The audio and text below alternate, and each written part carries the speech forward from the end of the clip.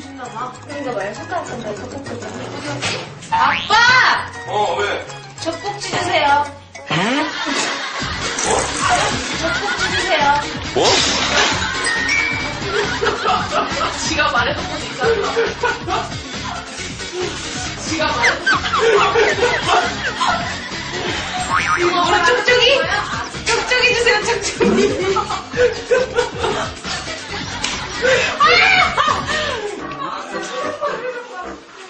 여기는 엄마가, 아빠는 신경을 안 쓰는구나, 보니까, 이제.